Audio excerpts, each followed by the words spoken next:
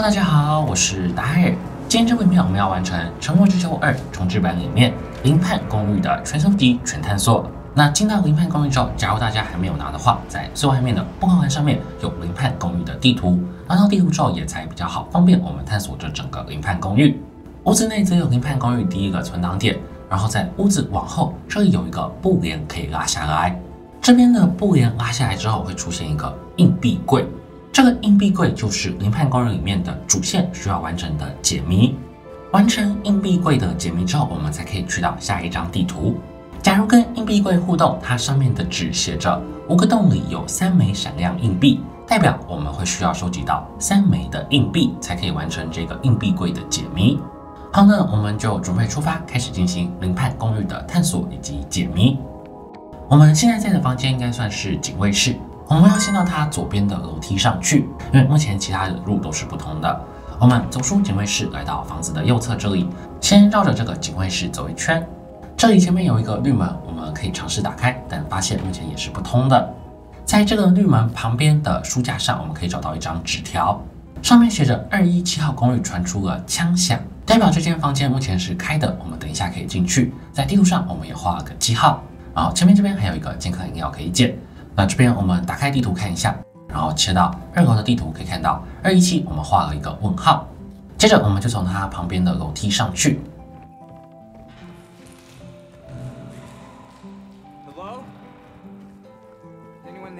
上楼之间传出了一些声响，不过我们没有看到人。附近的两间房间目前也没有办法打开。我们往右有白色亮光的那个地方走，发现这里有一间房门是打开的。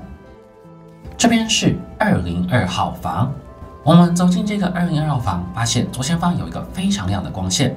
上前互动，我们可以拿到一个很重要的道具——手电筒。手电筒一照，发现前面竟然有一个敌人。我们在这边就先把这个敌人也一并击倒。将他击倒之后，我们可以简单搜刮一下这间房间。那厨房这边有几个柜子，但我柜子打开里面是都没有东西的。往后走回我们刚刚拿到手电筒的地方，这件衣服可以互动一下，应该是我们的男主妻子曾经穿过的衣服。然后在衣服的后面会有一个柜子可以打开，里面可以捡到滑到庭院的钥匙。这间房间探索完之后，我们就走回二楼的走廊这里，打开地图看一下，会发现左边还有一间二零一号房，我们可以过去看一下。那来到二零一号房，发现这里也需要一个钥匙才可以进去。那这边的二零一号房打不开，前面的几间二楼的房间也都打不开，所以在二楼的所有探索，目前我们就已经都完成了。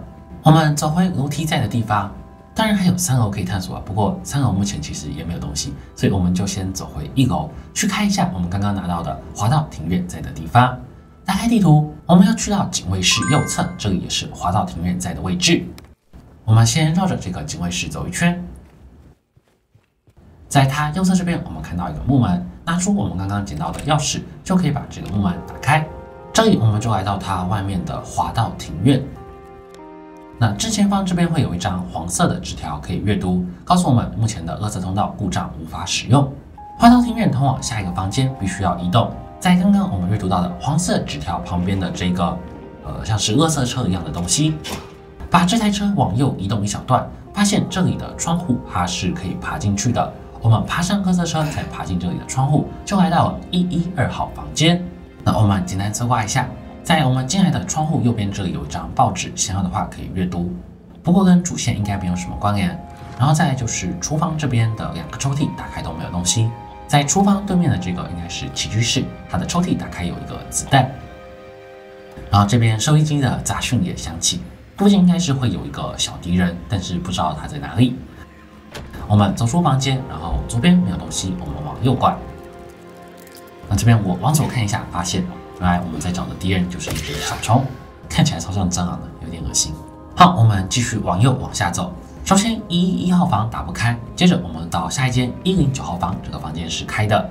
一样，我们可以先简单搜刮一下，在厨房这边有两个抽屉打开都没有东西。然后哇，这个有一个小块躲在后面，这个有点可怕。将小怪击倒之后，我们再进行一下搜刮，往前走到底，在左侧这里的卧室这里也有一个手枪子弹可以捡。那除此之外的其他房间就都打不开，我们就离开，回到这个走廊上。接着我们要继续沿着这个走廊往右下方走。拐弯处这边有一个一一零号房，不过这个也打不开。我们一路往走廊的尽头走，在最前面会看到一个可以互动的小白点，点击互动的话，这里就会触发一段剧情。我们试着去掏前面的一个钥匙，但是就在我们快要拿到钥匙之际，突然出现了一个小女孩，她把钥匙踢走，还踩了我们一脚。这个可恶的小女孩，我们之后还会再遇到。那这边这个被小女孩踢走的钥匙，其实我们绕一圈可以拿到。打开地图，这个惊叹号在的位置就是我们接着要去的方向。我们先往后走一点点，后面这边有一个蓝色的门，上面直接插钥匙可以打开。这里出来就是我们刚刚爬进一一二号房的地方。那我们就直接往前走，回到刚刚我们进来这个庭院的地方。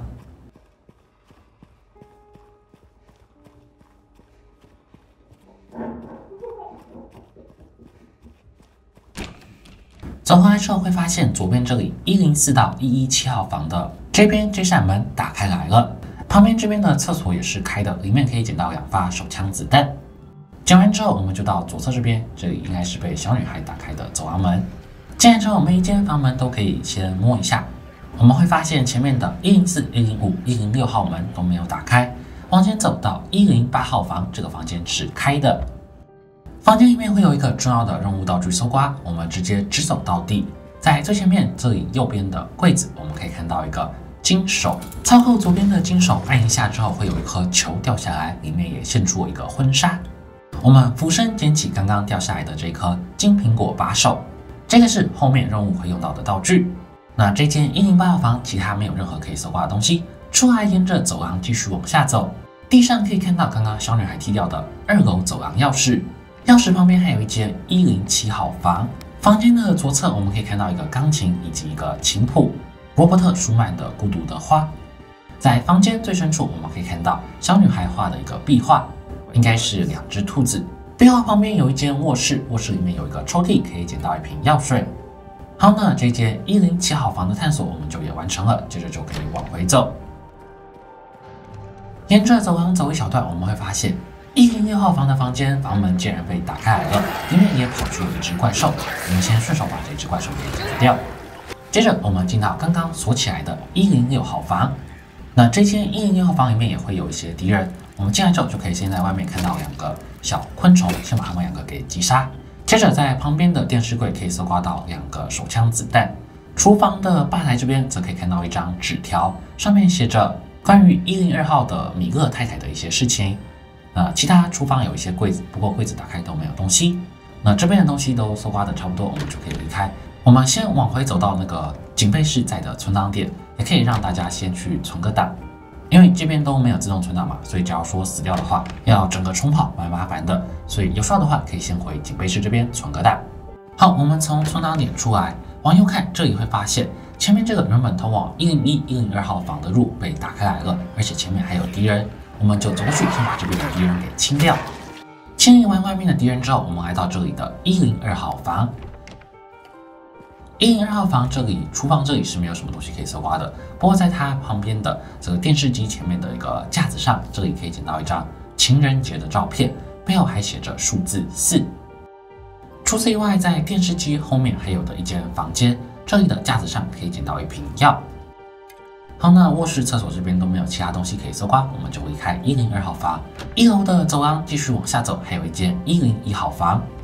不过我们走到一零一号房，会发现一零一号房目前是锁着的。那目前我们能够探索的一楼区域就全部都探索完成了。接着我们要回到二楼去使用我们刚刚有拿到的一个二楼走廊钥匙。一样，我们从警备室左侧这里的楼梯上去。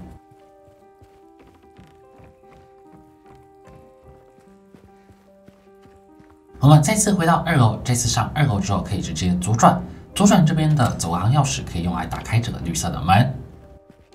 走出来，前面这里有一个看起来像是在装死的怪物，我们给它补个两刀。然后它旁边的门我们可以开开看，然后发现这里都打不开，我们就继续往下走。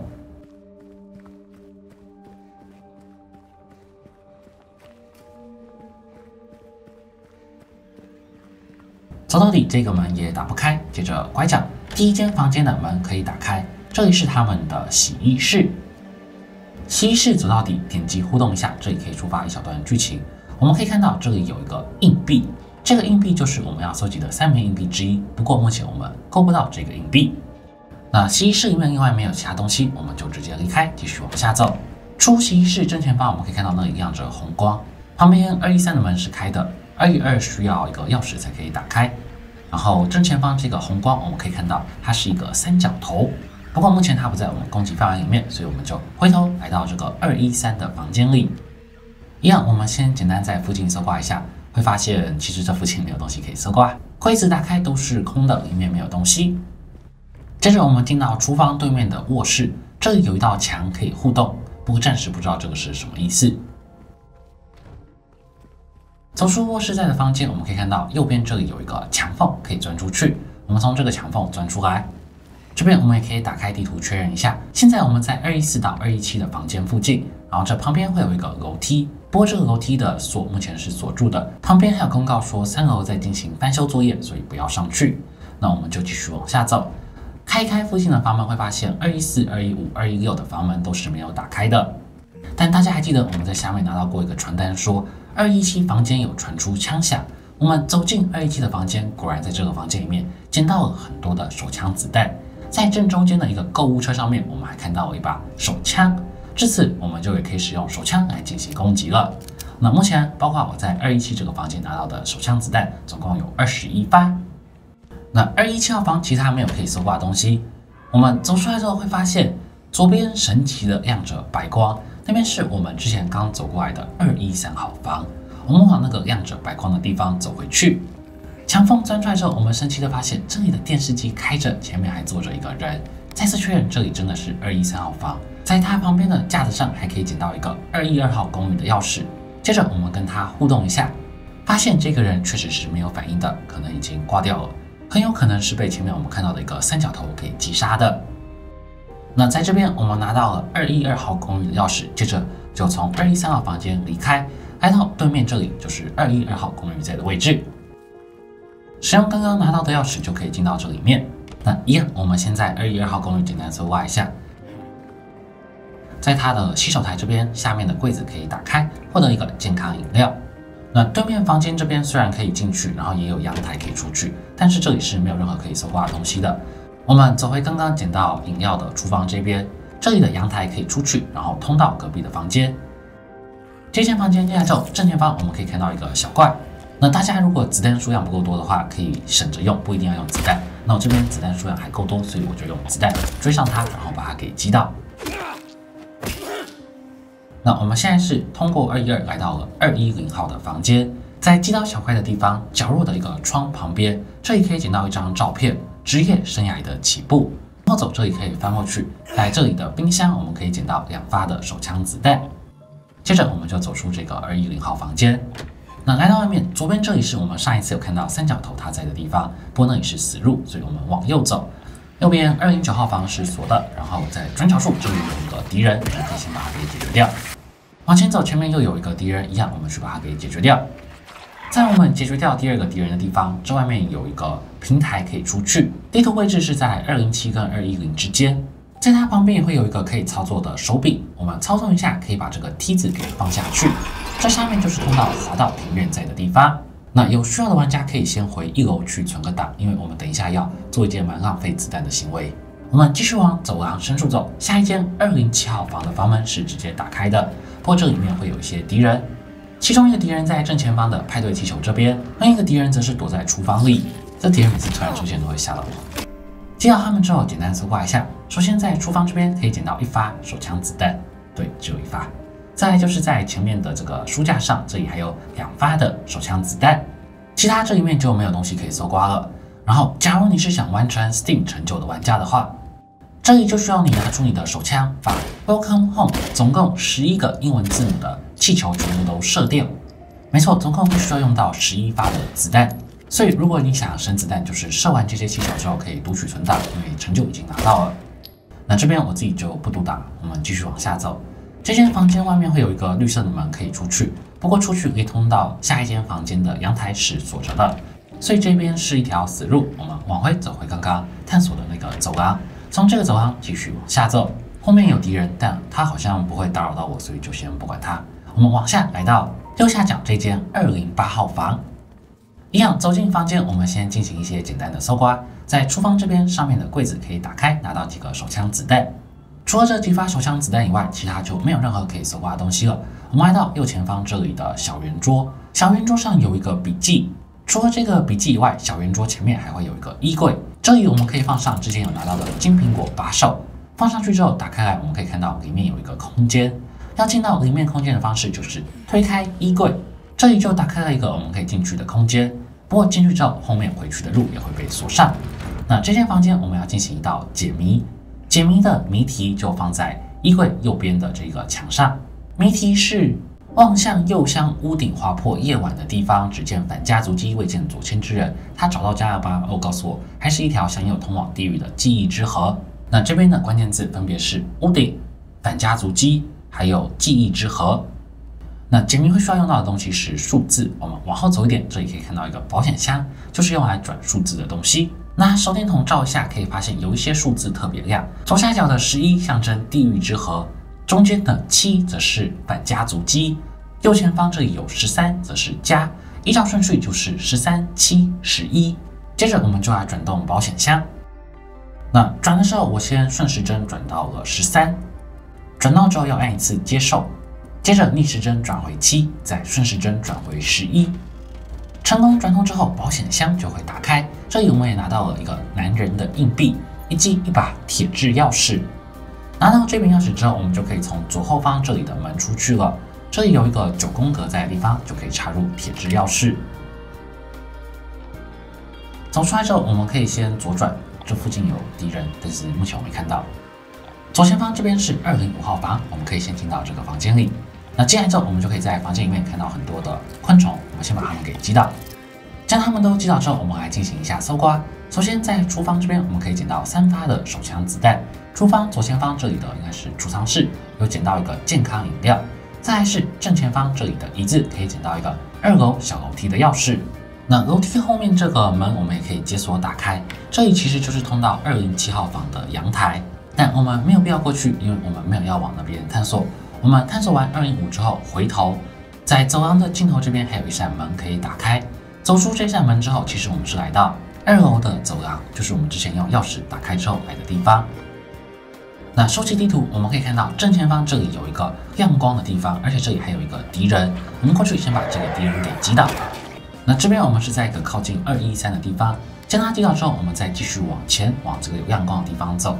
这里我们就可以用刚刚拿到的二楼小楼梯钥匙来打开后面的这扇门。门打开之后，后面也有一张红色的纸，这里就是林派公寓的第二个存档点。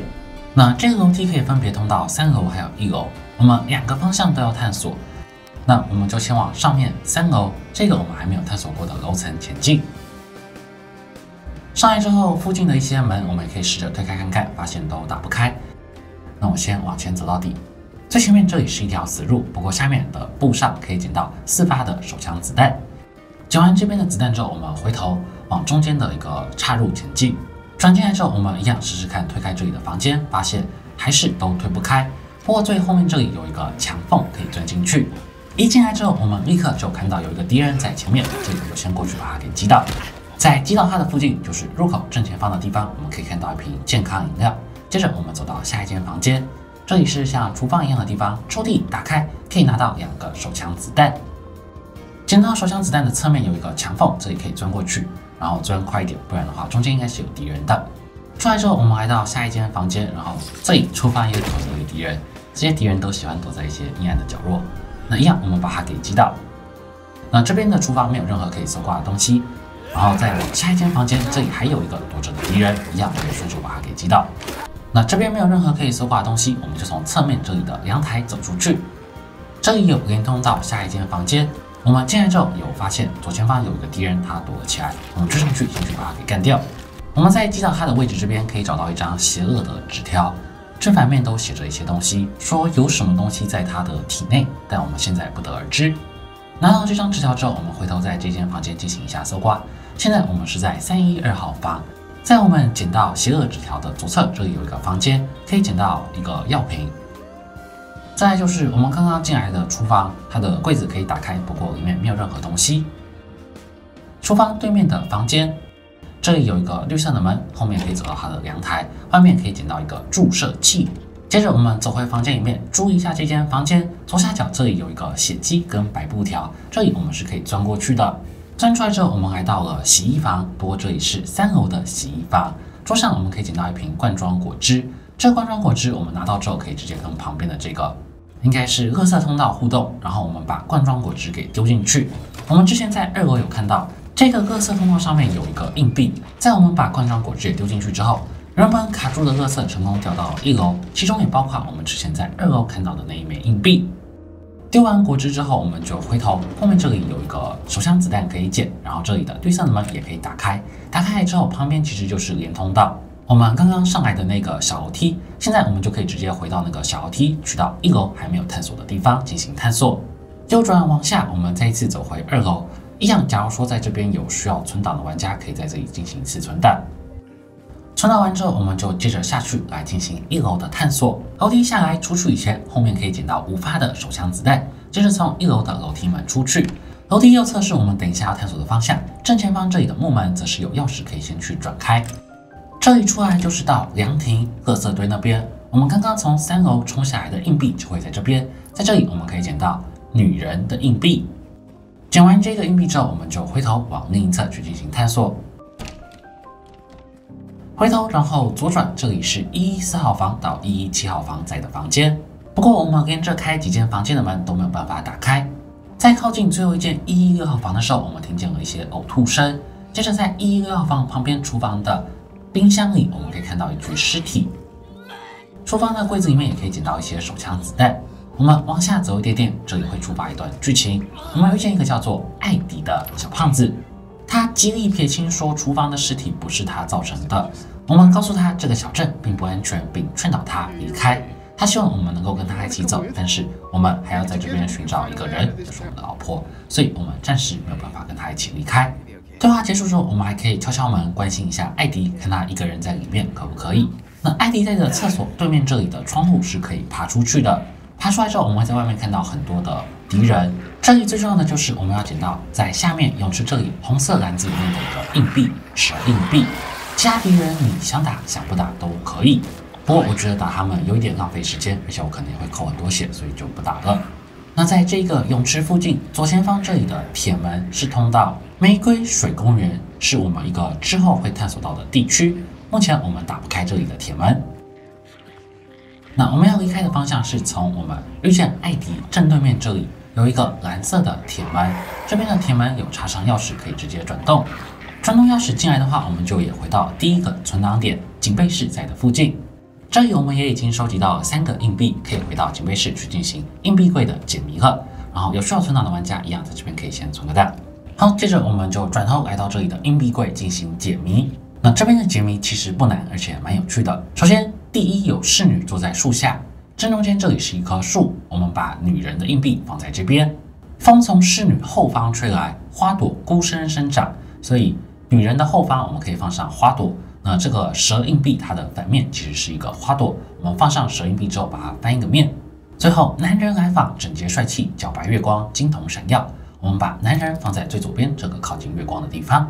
进到第二阶段，男人接近，利刃出鞘，所以我们把男人靠近女人这里，然后翻一个面变成利刃。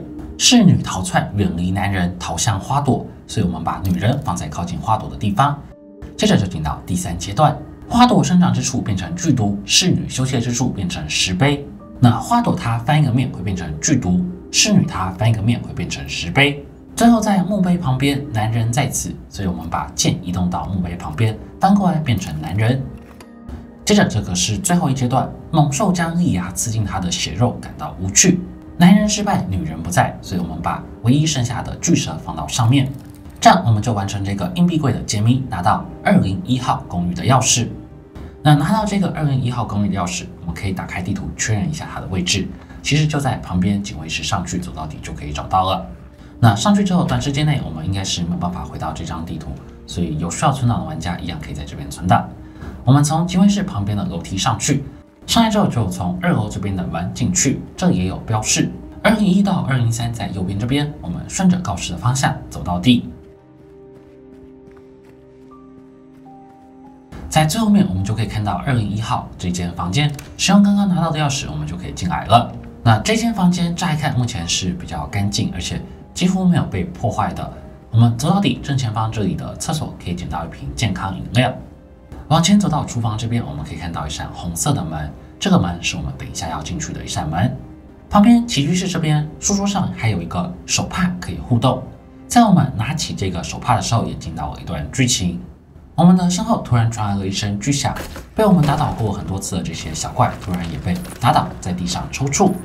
我们探头过去会看到之前有过一面之缘的三角头在这边肢解其他的小怪。我们抓准时间躲进了旁边的衣柜里面，但最后还是被这个三角头给发现了。我们拿出手枪朝他射了几枪，但是发现好像完全没有效果。好在他现在似乎对我们还没有太多的兴趣，他拖着地上的一个小怪离开了。剧情结束之后，我们可以在刚刚这个书桌下面捡到一个手帕。那要前往下一阶段的探索，就是要从前面这个红色的门进去。我们走上前去，转动一下这个红色的门，打开门之后要通到对面的房间，中间距离对面的房间是有一个几层楼高的。当然，我们勇敢的男主角还是不畏险境的跨到了对面去。那对面这边就是下一阶段的探索了。我们进来之后，右下角也会自动存档。假如现在关掉游戏重新打开的话，我们也可以直接读取档案进到这个清河公寓。好啊，那这部影片我们就先把林畔公寓的全探索、全搜集给完成了。假如还有下一部影片的话，下一部影片我们就会从清河公寓继续探索。这部影片就先聊到这边，看完喜欢千万不要忘记点赞订阅。我是达人，我们下部影片见，大家拜拜。